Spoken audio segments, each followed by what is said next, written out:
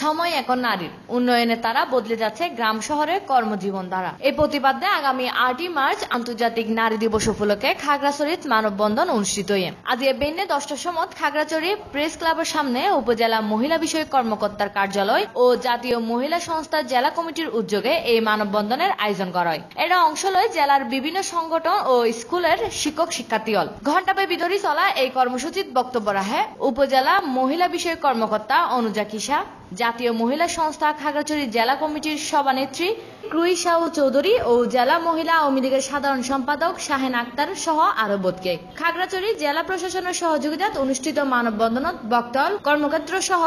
bag ক্ষেত্রত হলের সমান সুযোগ সুবিধা নিশ্চিত করিবার দাবি জানায় ব্যাগস নিউজ সি প্লাস টিভি এই যে দেখো কেওয়াই এর মুরগি মার্কা ঢেউটিন দিয়া বানানো আমার ঘর কেওয়াই এর মুরগি মার্কা ঢেউটিন লাগাইলেই হিট